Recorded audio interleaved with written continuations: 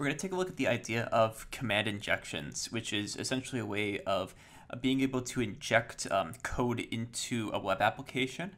And it's relatively similar to other types of injection type vulnerabilities, things like SQL injections and that sort of thing. The general idea of it is the same, that we're going to input something that gets interpreted as code, or in this case as a command, and then it will execute against the server. And the idea is that by doing this, we're able to execute any system command against the server with the same privileges of the um, the user that runs the web application, which means that we can either expose information about the server or potentially upload things to the server or get re um, reverse shells. And typically reverse shell would be the, the goal of doing an attack like this. So what I'm going to do is I'm going to go over the basics of how this sort of attack works and give you a general idea of what exactly you're able to do with it. So just for a little bit of context, I have this, um, this Linux virtual machine that's running, and this is what I'm using as my server. So when I log onto this, um, essentially I've got like this index.h or .php file. Uh, it's a rather simple file. Uh, let's go ahead and cat it essentially what it does is when we get a post request, it takes in the, um, the IP that's provided, and then it's going to go ahead and it's going to execute the shell command to ping the IP that's provided twice, and then it will echo out the output from that. So the idea is if we can insert something into this ping command to get it to execute along with the ping, so to do the ping and then sort of do something else, that would be the way that we would be able to get a command injection to actually happen.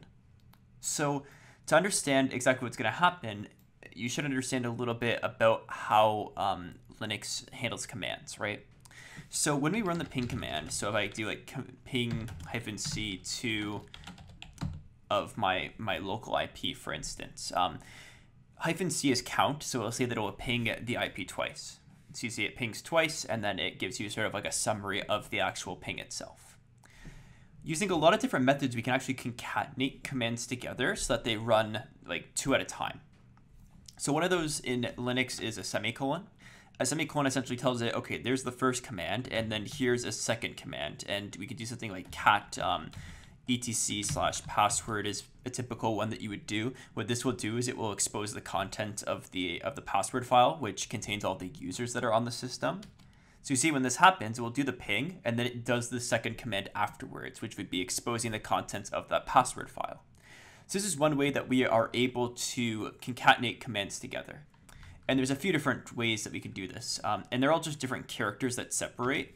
So um, another one that we have is these two ampersands, and it gives you a similar sort of output. Uh, it's equivalent of doing essentially an AND. So with the first one, we were saying like uh, run the first command and then run the second command. This one we're saying run the first command and also run the second command. So this will allow us to concatenate the commands together as well. This one is particularly helpful if they happen to, um, you know, censor the semicolon parameter. Um, for instance, like if you enter in an IP, it's typically like a numeric value with periods only. So um, if you were to try to protect from this, you could do a regular expression to take in only digits that have like periods or that sort of thing. Um, and in some cases, you might be able to um, to sort of sneak some other characters in um, using like the ampersands or some of the other characters that we'll go over here. Uh, so understanding different types of uh, ways to concatenate commands together is beneficial to be able to attack different systems. So those ampersands is a very common one. Um, the single pipe is one that's very common as well. With this one, this this is the pipe command. So what it does is it takes the input from one command and uses it for the next command that follows. So it takes the result of the ping and uses that as the input for cat. Cat doesn't take any sort of input, so that just outputs everything to the screen. And then the final one is OR, which is two pipes. This one is a little bit more tricky. You'll see if I do it normally, it just pings the server and it doesn't execute our second command. The reason that this happens is because the OR command will only execute the second command if the first command fails. So if we put in like a letter, for instance, the first command fails, so the second command executes. So those are the four common types of uh, ways of concatenating commands together. So when you're taking a look at the input from the server, we essentially we have control over the IP address and we can write in a command that will have an IP address that's valid, and then we can write in one of those special characters and then the next command that we want to execute. So for instance, I could do that same sort of idea, and then we could do cat um, etc password. So you can see here that we essentially give it that same input. We give it the IP and then a semicolon, and then we give it the next command. When we execute this, you'll see it does the result of the ping, and then it also cats the password file. So you can see that this allows us to expose the data. And just to show to you that all of them will work in this case, um, we can do, for instance, the two ampersands. Um, so that will work, for instance. Um, and we could do it with all of them, right? So we can do it with the pipes, we can do it with the with the or command. So all of those will work for this sort of instance. Um, so you can see that each of these commands will allow command ex uh, a command execution to be completed. Now, as I was saying before, we want to know those different types of characters that work because they may be trying to filter specific ones out. In reality, if you're running a system command from a web application, it's actually very hard to actually adequately filter out all of the different types of injections that can happen. So typically, like the guidance on this is to try not to use system commands whenever possible. Um, if a server has a system command like this, like this sort of like ping feature, for instance, it tends to be relatively easy to be able to find something that will allow us to to execute an arbitrary command. And again, just by trying those different types of um, parameters, is how you're going to be able to find those pieces of information. Now, there are a few other things to keep in mind here. If the server is running on Windows, you have to slightly modify the payload a bit. So for instance, if you're on a Windows computer and you're using your command line, you see ls doesn't work, right? But dir does, for instance. So there's a different set of commands for Windows versus um, Linux. So you have to be sort of sort of aware of that. As well with Windows, some of the different commands won't work. So I don't think the semicolon one works, but typically like the two ampersands together is a really good one because it works on both systems. So uh, that's another thing to just sort of keep in mind with that, that um, if you're working with a Windows server, you have to use slightly different commands. And the slightly different command is going to be using the, um, the ampersands.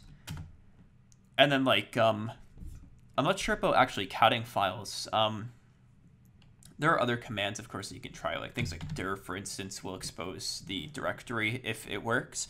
Um, as long as you get one of these to work, then you can just sort of like look up whatever command you want afterwards, right? So um, a lot of the times people will be like, you know, how, how can I get a reverse shell out of something like this? And the answer is you really just have to like run like a shell command or something like that. Or you can utilize this to expose the like hashed passwords and then do like an offline password attack to be able to brute force the passwords.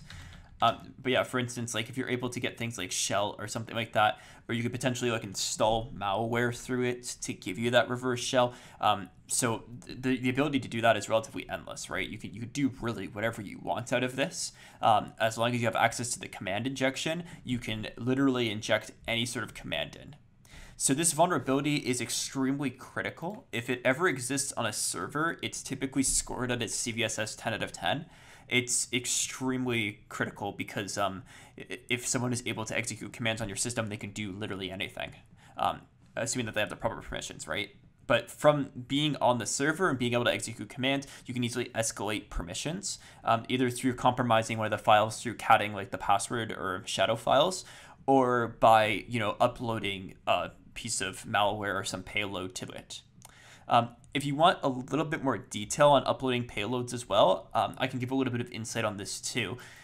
The idea with this is going to be when we have um, essentially like this this ability to um, run commands on the server.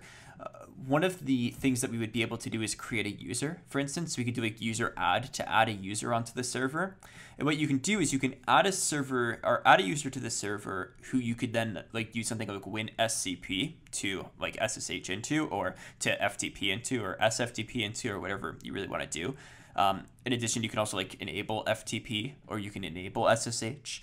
Um, and then using that, you can essentially go onto the server and upload whatever you want onto it. And then using this command injection, you can sort of navigate to where you want to go and execute your payload from there.